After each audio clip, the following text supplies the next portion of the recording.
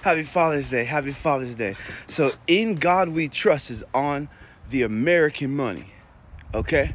In God We Trust. Now, because you put His name on money, what? It doesn't matter how people are spending money, right? It's in God we trust. You can still do what you're supposed to do without getting a dime.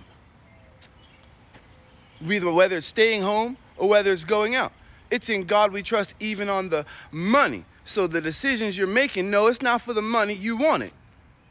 Whatever you want to go out for, whatever you want to stay home for, that's what you want. Look at Adam and Eve. Period. That's why I just got to bring them up.